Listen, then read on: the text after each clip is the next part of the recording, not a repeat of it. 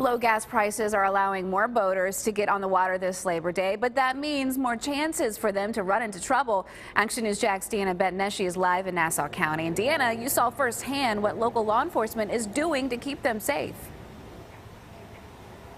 I did, and at the Amelia Island Yacht Basin, there are two Nassau County Marine units, one that's still out in the water right now, and then there's the one right behind me. That's the boat I went out on with officers earlier today to look for people who were breaking the law. Boaters were all over the waterways this afternoon. As the Nassau County Sheriff's Office took us for a ride. And uh, do you have the registration number for your vessel? As they performed safety checks. Let's go ahead and check all your safety gear today. Paul Tokash says he just bought his boat and this was the first time taking it out on the water during Labor Day. It was pretty busy. We went right out here to the jetties. There was like 15 boats all in one line.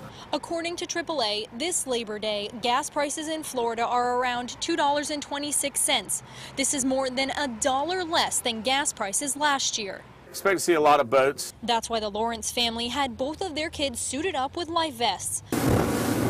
They worry about other boaters not following laws. It happens quite a bit, especially jet skis. Um, and a lot of folks running through no wake zones full speed.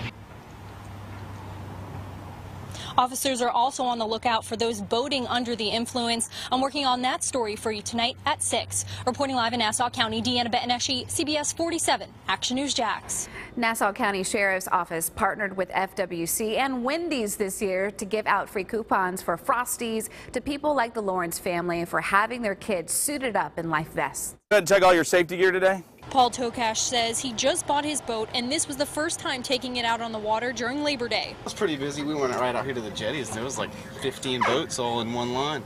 According to AAA, this Labor Day, gas prices in Florida are around $2.26. This is more than a dollar less than gas prices last year. Expect to see a lot of boats. That's why the Lawrence family had both of their kids suited up with life vests. They worry about other boaters not following. Low gas prices are allowing more boaters to get on the water this Labor Day, but that means more chances for them to run into trouble. Action News Jax Deanna Bettineschi is live in Nassau County. And Deanna, you saw firsthand what local law enforcement is doing to keep them safe. Boaters were all over the waterways this afternoon. As the Nassau County Sheriff's Office took us for a ride. And uh, do you have the registration number for your vessel? As they performed safety checks.